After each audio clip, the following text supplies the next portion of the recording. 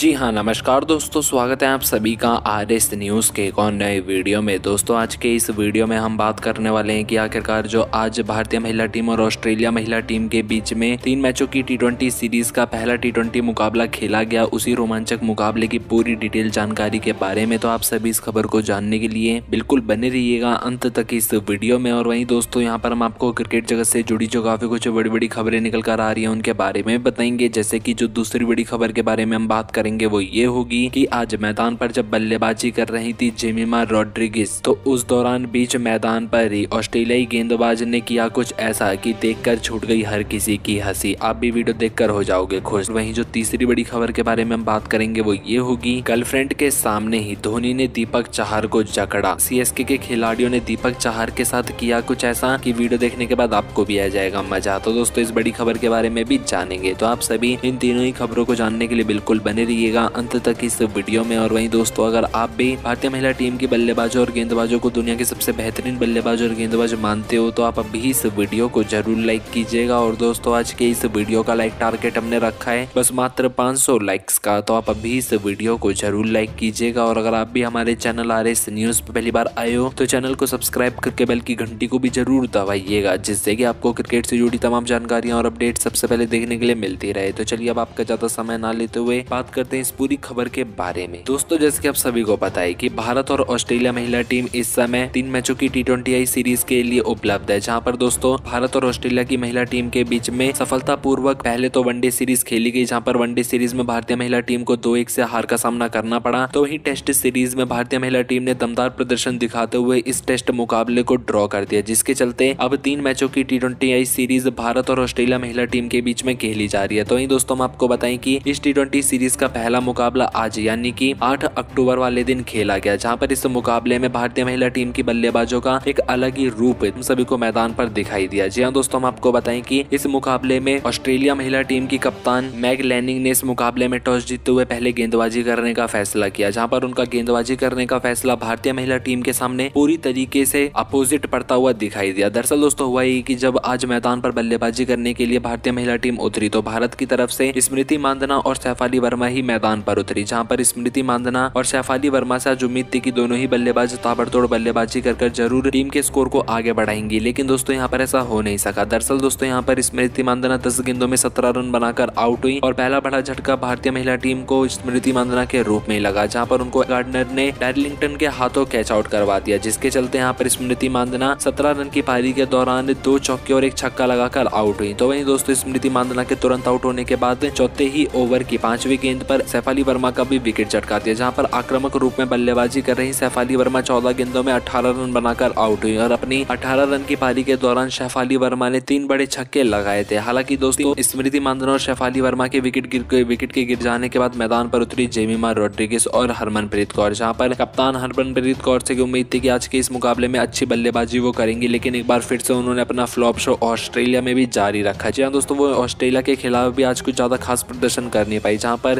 हरमनप्रीत कौर ने पाँच गेंदों में मात्र बारह रन की ही पारी खेली और इस दौरान उन्होंने तीन चौके लगाए थे और उनको एलबीडब्ल्यू आउट सोफिया ने किया, जहाँ पर छठे ओवर की पांचवी गेंद पर हरमनप्रीत कौर का विकेट गिरा और ऐसे में भारतीय महिला टीम के तीन बड़े विकेट पचपन रन के नुकसान पर ही गिर चुके और ऐसे में भारतीय महिला टीम को ज़रूरत थी एक बड़ी पारी की, जहाँ पर यह बड़ी पारी दिलवाई जेमिमा रोड्रिगस ने। जहाँ दोस्तों, इस मुकाबले में जेमिमा ने ताबड़तोड़ बल्लेबाजी करते हुए छत्तीस गेंदों में उनतालीस रन बनाए, वो भी नाबाद रहते हुए और अपनी इस पारी के दौरान उन्होंने सात चौके जड़े। तो वहीं दोस्तों, यहाँ पर यस्तिका भाटिया ने पंद्रह गेंदों में पंद्रह रन की ही पारी खेली और अपनी इस पारी में उन्होंने दो चौके लगाए थे। हालाँकि उनको जॉर्जिया वरहैम ने आउट कर दिया था। लेकिन दोस्तों, यहाँ पर रिचा घोष और जिमीमा ने भारतीय महिला टीम के स्कोर को आगे बढ़ाया और पंद्रह दशमलव दो ओवर में चार विकेट के नुकसान पर भारतीय महिला टीम ने एक सौ इकतीस रन ठोक डाले थे। लेकिन दोस्तों, आगे मैच शुरू हो पाता। उससे पहले ही इस मुकाबले में काफ़ी तेज़ी से बारिश होने लग गई, जिसके चलते इस मुकाबले को टाल दिया गया और इस मैच का कोई भी नतीजा नहीं निकला। और एक तरीके से इस मुकाबले को भारतीय महिला टीम ने अपने नाम कर लिया क्योंकि इस मुकाबले में दोनों ही टीमों को अच्छा प्रदर्शन करने के लिए एक एक अंक दिए गए। तो ऐसे में दोस्तों यहाँ पर ये काफ़ी ज़्यादा रोमांचक मुकाबला था और यहाँ पर जेमिया की पारी की ही वजह से भारतीय महिला टीम इतनी ज़्यादा आगे तक पहुँच पाई स्कोर बनाने में। बाकी दोस्तों आपकी क्या राय है? इनके बारे में आप अपनी कीमती राय और विचार हमें नीचे कमेंट बॉक्स में कमेंट करके ज़रूर बताइएगा। तो चलिए आगे बढ़ते हम बात करते हैं अगली खबर के बारे में जो अगली बड़ी खबर निकल कर आ रही है वो ये है। जैसे कि आप सभी को पता है कि आईपीएल 2021 अब अपने अंतिम फ़ेज़ में चल रहा है जहाँ पर आईपीएल 2021 का पचपनवा मुकाबला सनराइजर्स हैदराबाद और मुंबई इंडियंस की टीम के बीच में खेला जाएगा। हालाँकि दोस्तों, इस मुकाबले के बाद ही अब ये तय हो पाएगा कि आखिरकार आईपीएल 2021 में वो कौन सी टीम है जो कि प्लेऑफ्स के लिए अब क्वालिफाई करेगी। जी हाँ हम यहाँ पर बात कर रहे हैं मुंबई इंडियंस की टीम के बारे में, क्योंकि इस बार मुंबई इंडियंस का प्रदर्शन उतना ज़्यादा कुछ खास रहा नहीं इस आईपीएल के सत्र में। और यहाँ पर मुंबई इंडियंस छह मैचों में जीत हासिल कर कर बारह अंकों के साथ पंजाब किंग्स और कोलकाता नाइट राइडर्स की टीम से पीछे हालाँकि अगर आज का मुकाबला मुंबई इंडियंस की टीम जीतती है और वो भी एक बड़े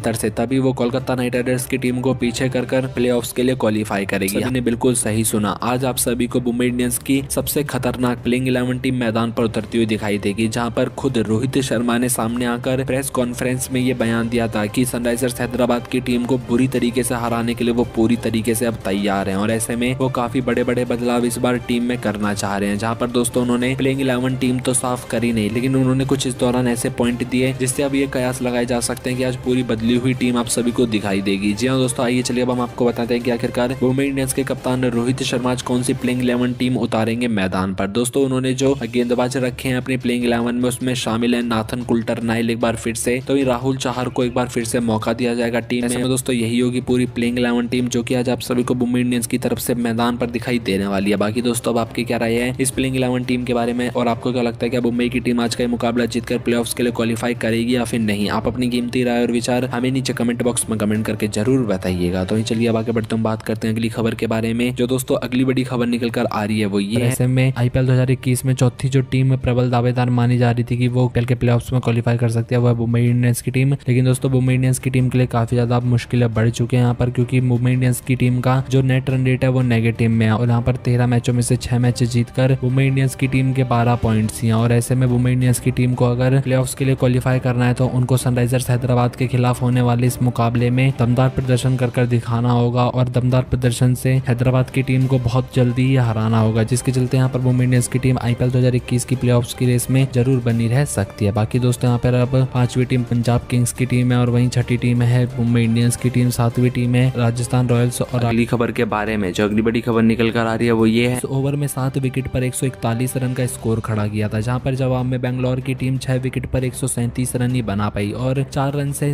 हैदराबाद की टीम ने बेंगलोर के खिलाफ रोमांचक जीत हासिल कर ली। हमें उम्मीद है कि आपको दिखाई गई जानकारी पसंद आई होगी। वीडियो अच्छा लगा तो वीडियो को लाइक करना, साथ में चैनल को सब्सक्राइब करना जिससे की जो आगे की अपडेट होंगी वो आप सभी को सबसे पहले चैनल पर देखने के लिए मिलती रहे। तो मिलेंगे अगली और ऐसी जानकारी में। तब तक के लिए जय हिंद, जय भारत।